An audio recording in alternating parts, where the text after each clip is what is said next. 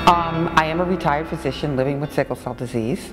Um, fortunately, I was diagnosed um, very young, 18 months old. Um, got very ill, according to my mom. Um, she got in touch with our family doctor, who literally was like around the corner. Um, he was an African American physician, and right away he knew that my what they call a differential diagnosis. He said I either had rheumatic fever or sickle cell disease. Told my mom to take me to the Children's Hospital, Philadelphia. That's where I was diagnosed and treated until they kicked me out at the age of 17. Back then they did not have transitional care. They just told me to go find a doctor, an adult doctor, which you know I figured out. Um, I sort of figured it out after going to college because I did graduate from high school and go to college. I've never wanted to be anything other than a physician.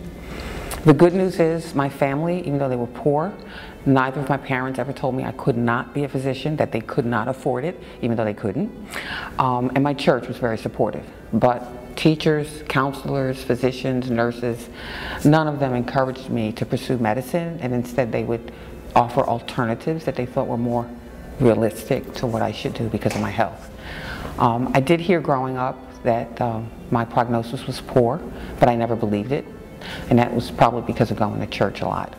Um, and I grabbed onto at a very young age the concept of three score and ten or 70 years. So I felt like God was going to give me at least 70 years. And I'm now 66. so I only have four more years to go, and then I'll surpass that hopefully.